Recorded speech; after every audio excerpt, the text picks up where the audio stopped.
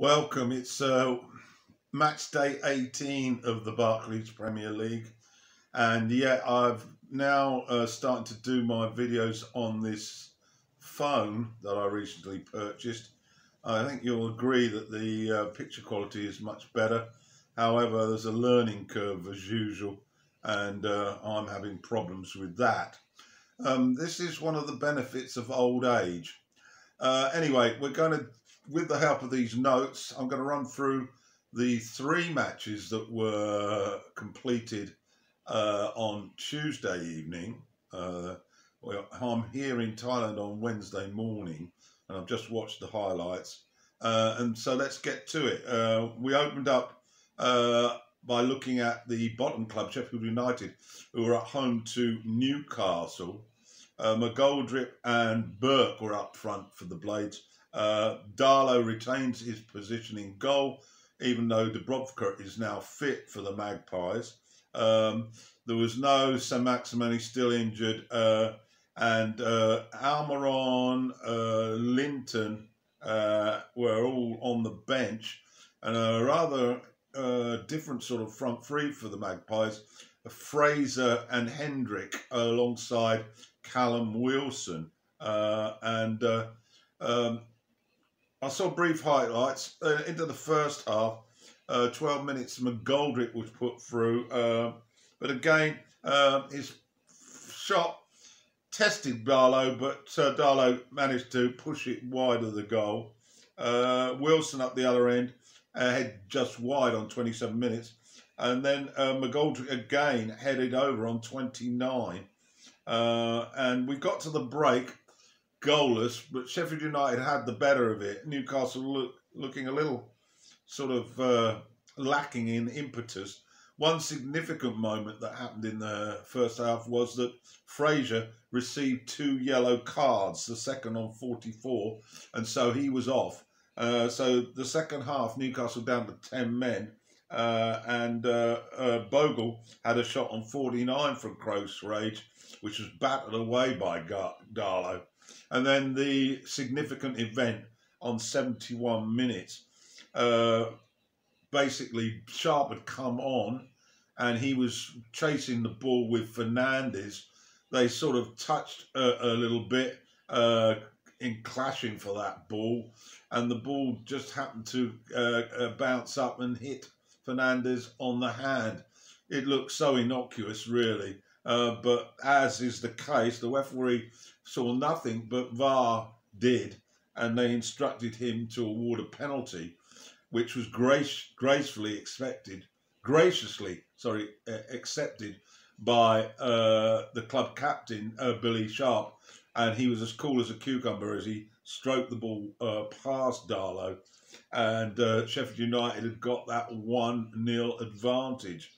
Um, that was also his 100th for the club, and they managed to hang on um, without too many uh, real sort of danger moments. So, uh, amazingly, uh, and we're into January, uh, Sheffield United uh, getting their first win of the season. Absolutely fantastic. So, final score then at Bramall Lane Sheffield United 1, Newcastle nil. Match two then uh, was played at Molineux. It was Wolves against uh, Everton. Uh, interesting selection by uh, Ancelotti up front for uh, uh, Everton. there was no Calvert Lewin. He had a hamstring problem. And Richarlison was on the bench. And so he had a, a, a Iwobi and a Sigurdsson up front. and for Wolves, Dendoncker, uh, Neves, and Moutinho are in midfield. Traoré out with an injury. Uh, Gibbs White back after a long period of, on loan for, at Swansea, and he was in the starting lineup. Uh, Everton selected Pickford uh, ahead of Olsen. Olsen had done his cup uh, duties, and uh, so James and sorry, James was up front with Gil, uh, Gylfi Sigurdsson.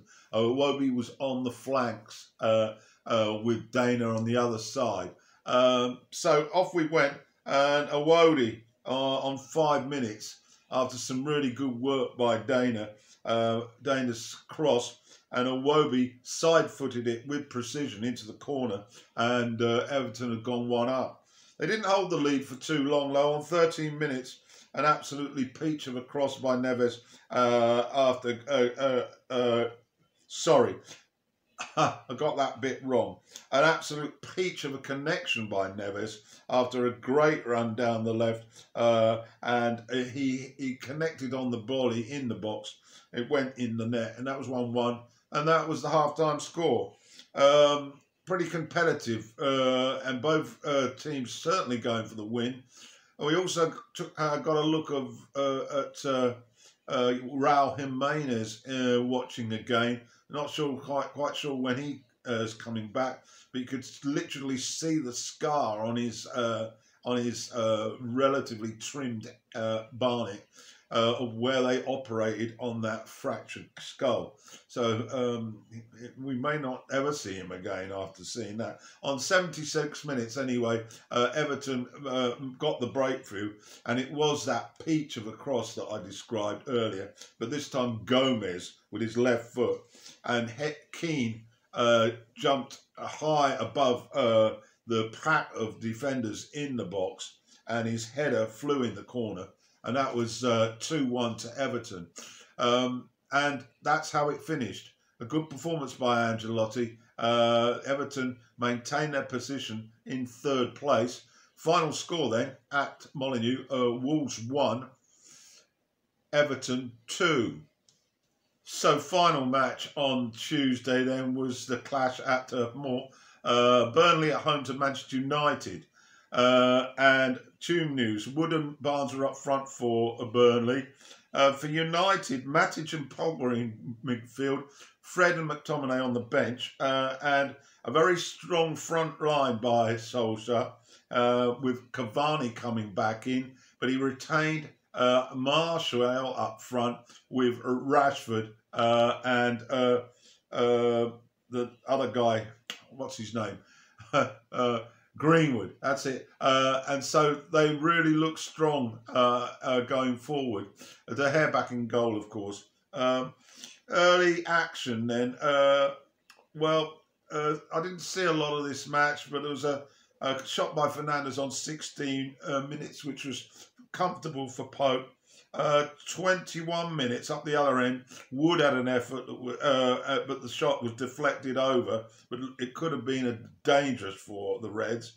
Uh, and then on 30 minutes, we had two very contentious challenges uh, at either end of the field. The first one involved uh, Shaw and his heavy cha challenge on he got the ball, but he went right through the the the Burnley player uh, and up the other end, Cavani was brought down uh, just uh, at the edge of the box.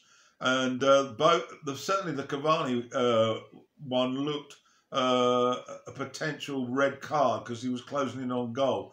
But anyway, as a result, the referee had to look at both and decided that the first offence stopped the game, so the Cavani incident was irrelevant and he gave a yellow card to Shaw and a free kick uh, to Burnley. Uh, Maguire headed in on 35 uh, at the far post after a great shot by great cross by Shaw, but again the goal was disallowed uh, for a foul by Maguire. And 44 minutes, Martial uh, a, a, drive from dis- distance, but Pope uh, managed to deal with it. So it was goalless at the break, with United having the better of things. I didn't see a lot of the second half, uh, uh, but what actually happened was, uh, I think about minute 70, uh, uh, there was a, a, a great cross from the right by Rashford, set up Pogba on the edge of the box, and he hit it on the volley uh, it did get a deflection and then went through Pope's legs. Uh, but it was a great effort by the Frenchman. And in fact, he was the standout player uh, for United on the night. Uh, and he got the winning goal because that was uh, about it. Uh, Manchester United have gone to Turf Moor. They usually do very well there, and they'd won the goal by a goal to one goal to nil. It put United top of the Premier League, and that's the first time they've been top in seven seasons. And in charge uh, all that time back was one uh, Sir Alex Ferguson. So this is definitely uh, a, a, a, point that we can all say with regard to Solskjaer that he's uh, perhaps finally getting things right. Final score then at Turf Moor, Burnley nil, Manchester United one.